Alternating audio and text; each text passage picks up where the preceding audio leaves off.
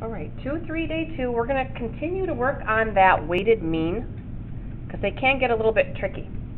So we're going to do a couple of practice problems to start with before we cover the new material. So we'll go back over weighted mean.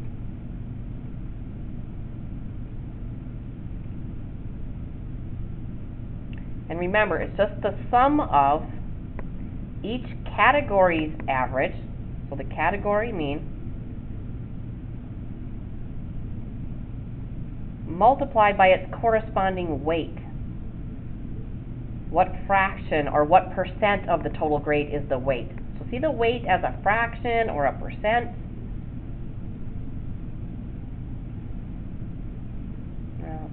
Percent, that's your weight. And then you divide by the sum of the weights. And you saw yesterday that usually everybody has their weights add up to 100%. All right, so here we go. Let's take a college and comp class. And let's look at the roster. In this class, there are six engineers.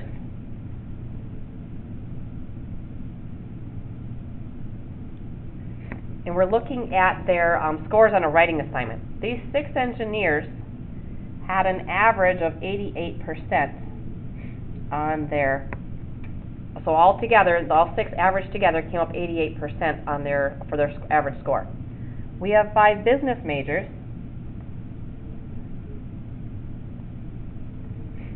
Their average was a 70%. 10 math majors.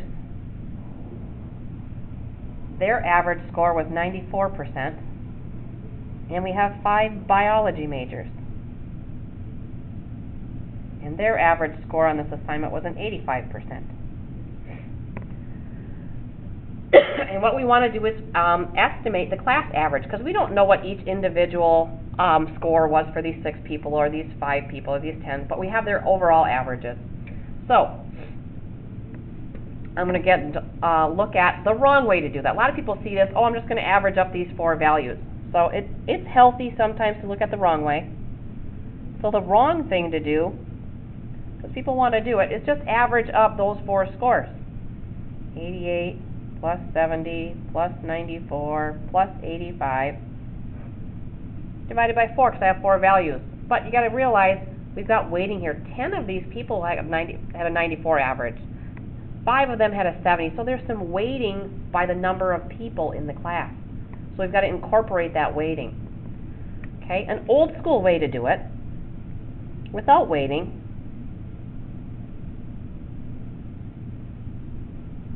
is to think, boy, I've got six people that got 88, so that's six sets of 88, five people that got 70, 10 that got 94, and five that got 85. So overall, in order for me to get the class average, I'd have to divide by how many values I have, which is how big the class is, and there's 26 people in this class. 10, 20, 26. So the old school way to do it would be to add up 688 so to do that quickly, it's just 6 times 88. Add up 5 70s, so the quick way would be 5 times 70. Add up 10 94s, so 10 times 94. And then add up 5 85s. So I would have all 26 scores added up, and I would divide by 26 when they've already taken the time to uh, type that in a calculator, you would need parentheses around the top, and you get 86.27 is the class average. Now we can also do it with the weighted mean. So old school works and weighted mean works.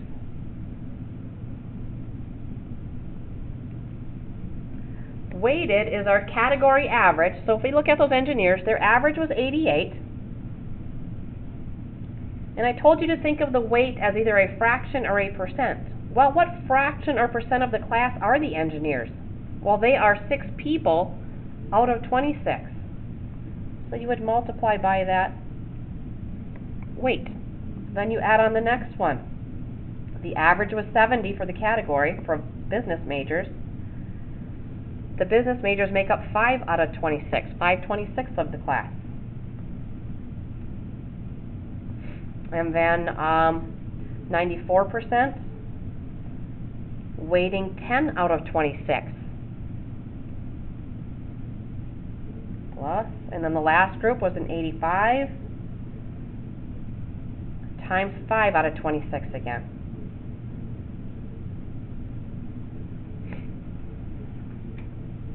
In my weights, I used all twenty-six out of twenty-six, so again, I'd be dividing by one, so I'm not even gonna bother with that. And believe me or not, but if you type that in, in just like I have it, you will get the exact same score you have here with the old school way. No difference. Okay, most people can figure that one out. This next one, which it was gonna impact you soon enough when you go to college and your college GPA. Little different than high school GPA, because here, every class counts for the same amount. You, um, where in college, your classes are weighted based on how many credits the class is. So let's look at a typical first semester. Let's say you take Calc one, which in some classes, some colleges it's five credits, others it's four. We're gonna go with the five credit college. Intro to Psych. Here, some classes it's three, or some colleges it's three, some colleges it's four. Rhet and Comp. We'll go four credits, and then we'll go bowling. Some colleges still make you take those PE credits, and we'll make that a two credit class. Okay, see what kind of semester you had. Okay, you're smart, we're gonna give you an A in Calc, a B plus in Psych, a B in Rhet and Comp, and an A minus in Bowling. So we, uh, we know it's out of a four-point scale, so we get the point total for, to represent each one of these letters. So our A 4.0, a B plus, 3.33, repeating. A B is a 3, an A minus is a 3.666, repeating. They all subtract by one-third each time. Okay, so your semester was a 10, 15 credit semester. So, the wrong way to find your your um, semester average would be to just say, well, I got an A, I got a B plus, a B, and an A minus. Add all four of those up and divide by four. Totally wrong.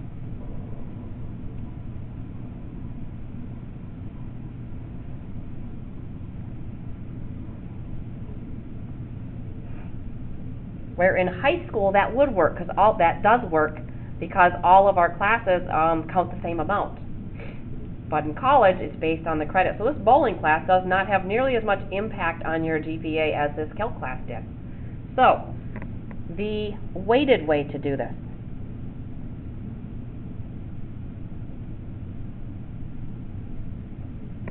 So our average for calc was a 4, multiplied by its weight. Its weight is 5 credits. Remember, weight is a fraction or a percent. So what fraction of your semester was calculus? Well, it was 5 out of 15, or one-third of my total credits. Then the, um, the average for the intro to psych was 3.33. And its weight was um, 4 out of 15. And you keep going. The 3, the 3.0B was 4 out of the 15 credits. And then the 3.66, 2 out of 15. And if you type that all in correctly, you come up with a 3.5 GPA for the semester. Okay, the hmm. old school way to do it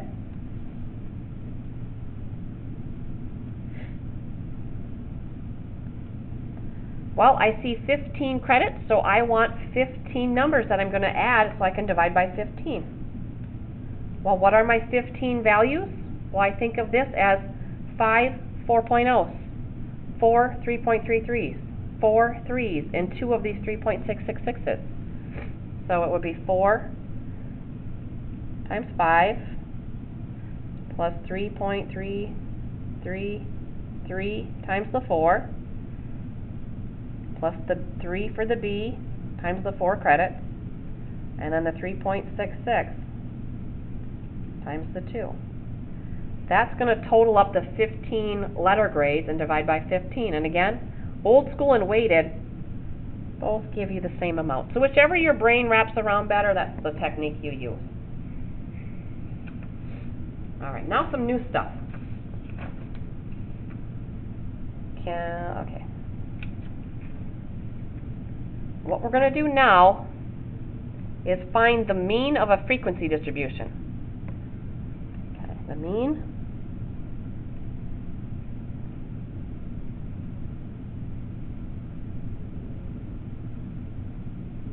of a frequency distribution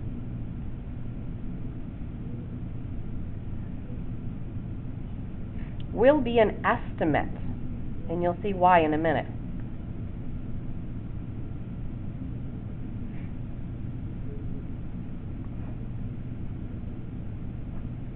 of the actual mean.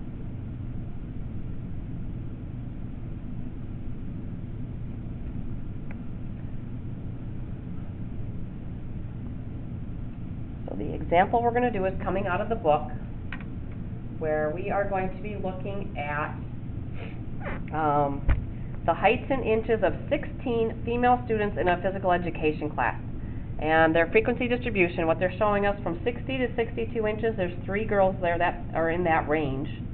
Four girls in the 63 to 65, seven girls in the 66 to 68, and two girls in the 69 to 71. So, we're going to copy that down real quick. So the height and the frequency. So we had 60 to 62. That's a class width of 60, 61, 62. That's a class width of 3, remember, just to refresh your memory. 63 to 65, 66 to 68, and 69 to 71. And it's 3, 4, 7, and 2. Now the reason that this average, what I'm asking you, find the average height of this class of girls. The reason it's an average or an excuse me, an estimate is because I don't know the um, 16 individual heights. I don't know the, exactly how tall these three girls were. Maybe they were all 60, 61. Maybe I had a 60 and two 62s. I don't know exactly what their heights were. So that's why we call it an estimate. And an estimate doesn't mean, oh, just look at it and grab a number. There's a process we're going to go through. So think about it. If I know I've got three girls in this range, what would be my best estimate for these three girls? Well, if you think about it, we're probably just going to use the midpoint, and we are going to use the midpoint. So I'm going to put that midpoint column in. And I'm going to assume I've got three girls that are 61 inches tall. Then I'm going to assume I've got four girls that are at the midpoint of 64. Remember the class width was 3, so these are going to be 3 apart. 67 and 70. So now making that assumption, I can do it old school or I can do it weighted. Old school says you're going to find, add up 16 different numbers as quickly as you can. So old school, you're going to multiply your frequency times your midpoint.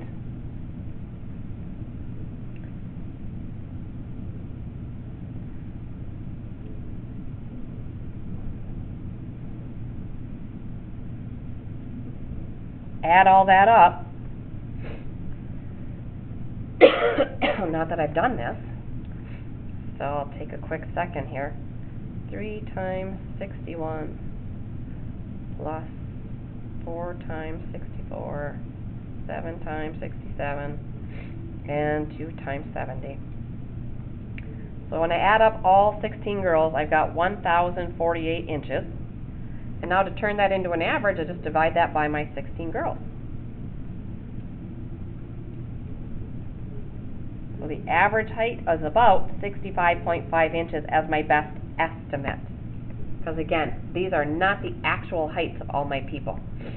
So, um, there we go. Old school or weighting would be 61 times 3 over 16, 64 times 4 over 16, 67 times 7 over 16, and times the fraction.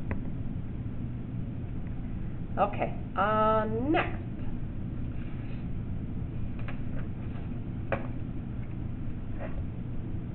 Okay, we have, we're going to be making some graphs on the calculator. You just made a bunch of graphs by hand. I'm going to show you the calculator does make nice histograms. So I'm going to show you that.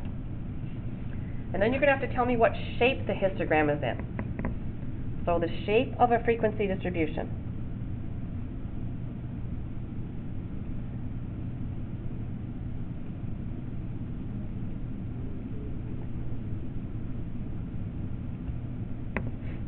Okay.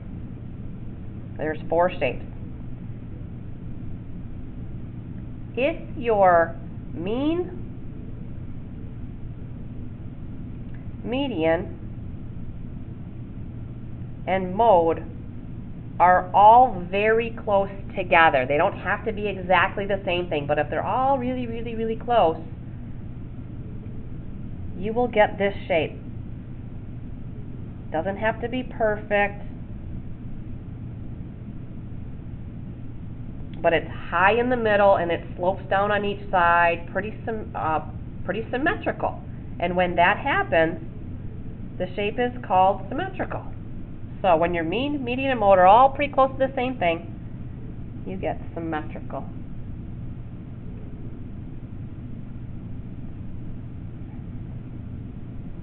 The next one.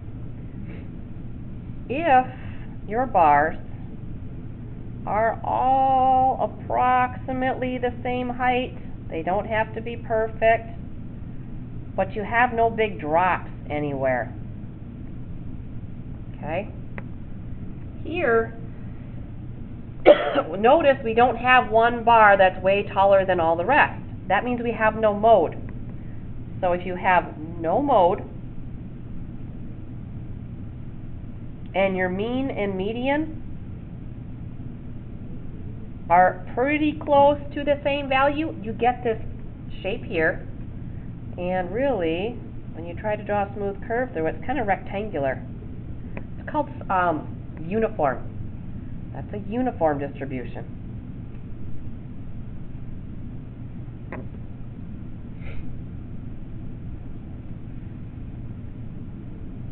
And then two more.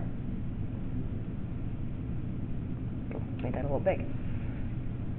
So here, tall bar here, a little bit shorter here, and then they start to drop off quickly. So that they get very short over here. If you were to try to draw a smooth curve through that, you get this comes up and then it tails off this way. Gets real low. Here you can see our mode is here. It's the tallest one the most often. And remember, when the um, it tails off to the right here, maybe you're not going to remember, your mean is going to be out in the tail because these small numbers are going to pull the average away from the mode. So the mean will be out here in the tail. And your median is still going to be somewhere in the middle here.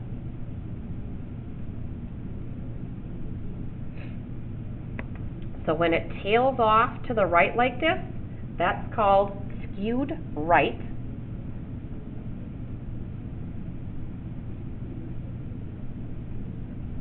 Or it might be called positively skewed.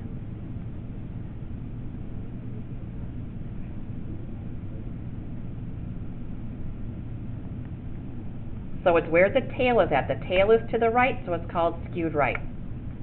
So the average got pulled to the right. Okay, and then the other side of the coin, I think you know what's coming.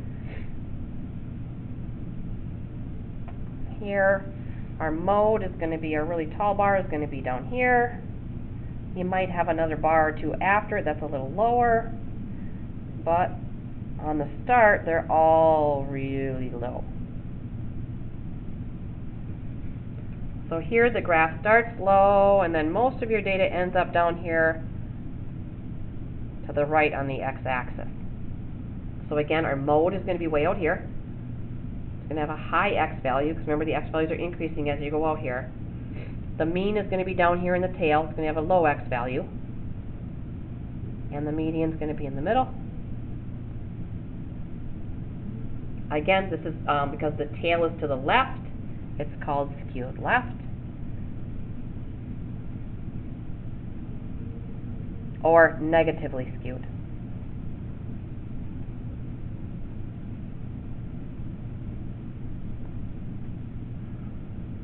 Okay, so the last thing we're going to do is I'm going to give, or I'm going to make a frequency distribution um, guess what shape it's going to have before we even graph it, and then I'm going to show you how to have the calculator make the graph.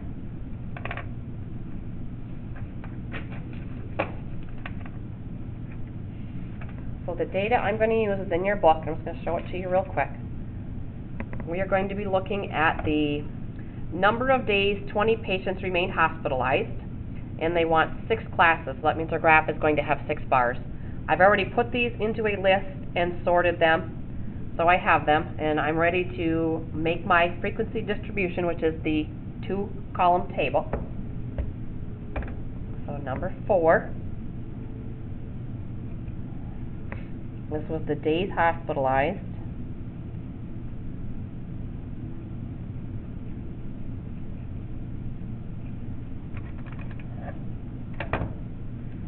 So stat edit. I already put them in. The least number of days was three, and the highest, I think, was 14. Yes, 14. So the first thing we're going to do is calculate our class width for six classes. So remember, it's max minus min divided by number of classes, and again, we always round up. So that's going to be uh, 11 divided by 6 is 1.8 which is going to give us a class width of 2. So making our frequency distribution,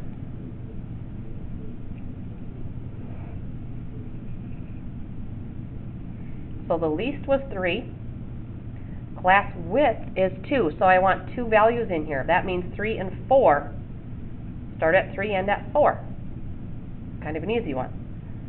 5 and 6 are here, 7 and 8, 9 and 10, 11 and 12, 13 and 14. And now the frequencies. Remember, all you've got to do, I, I did sort them already. So the 3s and 4s, whoops, I see um, three of them. 5s and 6s, I counted 8. 7 and 8s, there were 4, and 2, 2, and 1. Okay, before I show you how to have the calculator make this graph, just by looking at these numbers, can you tell me what shape this is going to have? So all you got to do is really visualize. See a bar with a height of 3, then a bar with a height of 8, 4, 2, 2, 1. So I see it starting and then shrinking down. It should, uh, my guess, is skewed right. But we do want to take a look at the graph real quick, because these are handy for making graphs. So, you are going to go under, and I'll put the buttons down here so you can look back when you actually do these. You're going to go under Stat Plot. And if you look, that's right above your y equals. I'll zoom that in a little bit. Okay, so right above your y equals is stat plot. So I'm going to go second stat plot.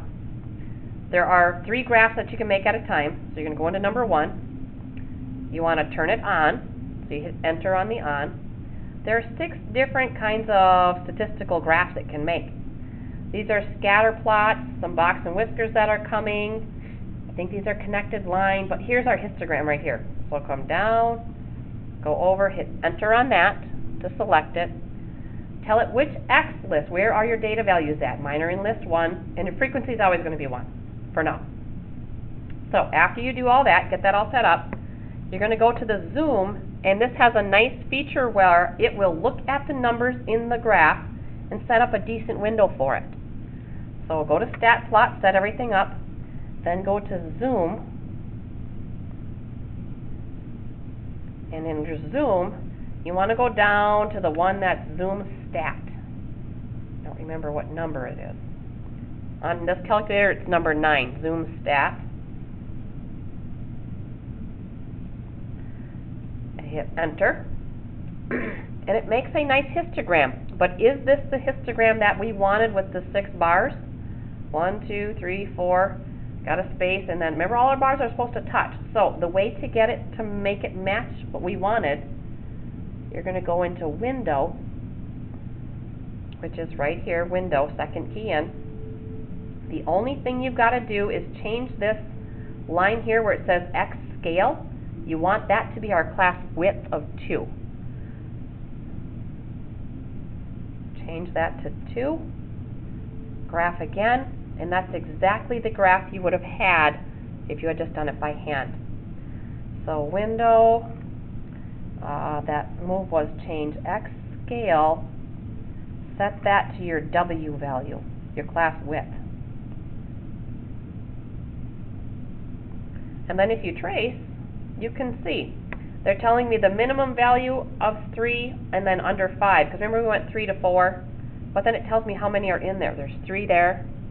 And if you arrow over, you can see there's 8 in the next one, 4, 2, 2, and 1. So it matches perfectly. So, just going to make a quick little sketch. I'm not even going to bother with numbers because the uh, calculator made the exact graph for me. Just a rough, rough sketch. Good enough. And my guess was right on the start. Okay, that's all I have.